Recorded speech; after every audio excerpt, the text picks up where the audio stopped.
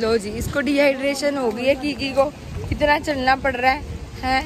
और अंदर गर्म पानी मिल रहा था, ठंडा पानी नहीं मिला कीकी को अब गुस्सा हो रखी है। हाँ जी, कीकी जी, अभी हम घर जा रहे हैं। अभी दो किलोमीटर और चल के वहाँ तक जाना पड़ेगा। मैंने हील पहनी हुई थी और मेरा पैर इतना दर्द कर रहा है इस टाइम पे। उफ रास्ते में जाते जाते इन्होंने एक और स्टॉपेज लगा लिया वाड़ी लाल पे। अब फिर से सभी आइसक्रीम खाएँगे।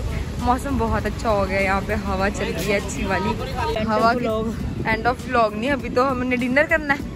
अभी आपके बाल कितने उड़ रहे हैं हम दिखाना चाहते हैं कि देखो कितनी अच्छी हवा चल रही थी। यार जैसे ही मैं कैमरा ऑन करती हूँ ना हवा कम हो जाती है। बाल इतने उड़ रहे हैं पेड़ क्यों नहीं उड़ रहे? मेरे बालों से अंदाज़ा लगा लो कि हवा चल रही है क्योंकि पेड़ नहीं उड़ रहे हैं। उड़ रहे हैं ये वाला पेड़ उड़ रहा है।